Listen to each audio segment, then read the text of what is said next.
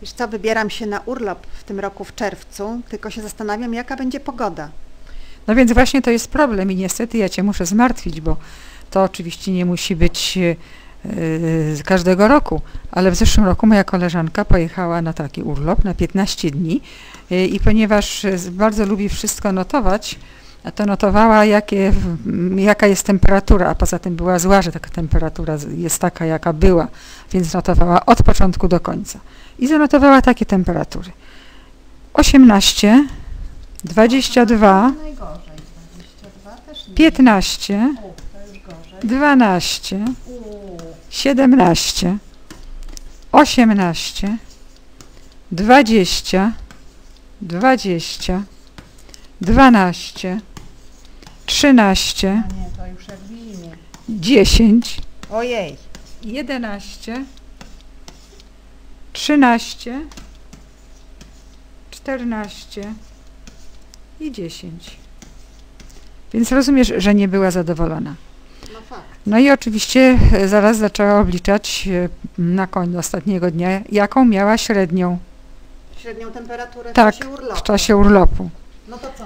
No więc e, policzyła, więc e, za, oczywiście ona zrobiła mm, to, co trzeba, to znaczy się najpierw uporządkowała ten ciąg, bo ona miała pewną próbkę danych, ciąg liczb i uporządkowała od najmniejszej do największej. Najmniejsza to jest 10. Więc Tak?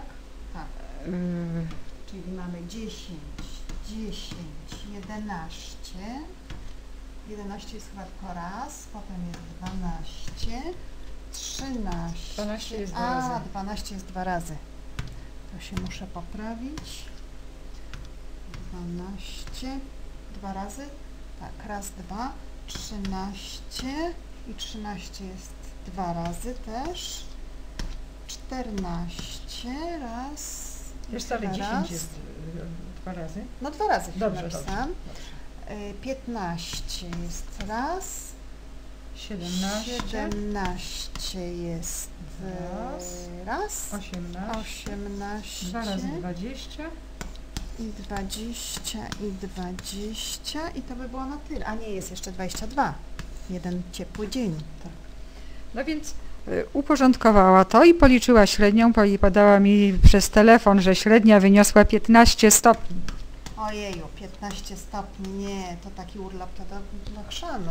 Dobrze, a teraz y, może pomyślimy o modzie. Czy tutaj są, można powiedzieć coś o modzie, tej modzie statystycznej? Mm, Moda. Oj, wiesz co, że chyba nie za bardzo, bo tak, widzę, że mam e, 20 stopni dwa razy, ale 12 też dwa razy i 10 też dwa razy. I jeszcze 13 dwa razy. I 13. No to ja nie wiem, jaka tu była moda w trakcie tego urlopu.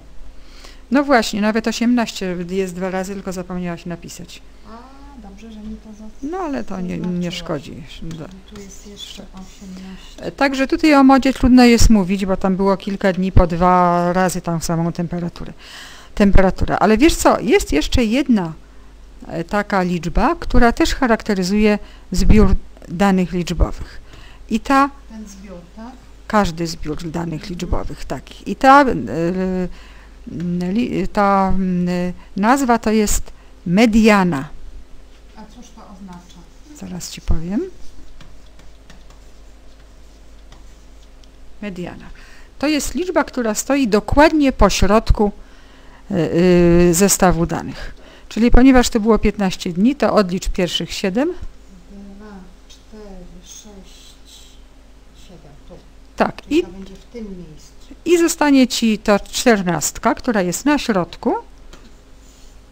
I to jest właśnie mediana. No dobrze. Czyli to jest liczba, która stoi w środku zestawu danych. Jeżeli mamy parzystą, gdyby ona mi liczyła 14 dni, to trzeba by wziąć dwie sąsiednie, te dwie i wziąć średnią arytmetyczną No tych. dobrze, w to Ale w tym przypadku mamy A tak. co ona mi mówi? No na przykład mówi Ci tyle, że cały tydzień miałaś temperaturę y, poniżej 14 stopni. O, faktycznie. I to już brzmi bardzo I nieprzyjemnie. to już brzmi nieprzyjemnie. A teraz dam Ci jeszcze taki przykład, że niedaleko mnie jest takie multikino, gdzie jest 13 sal Mhm. po 100 miejsc.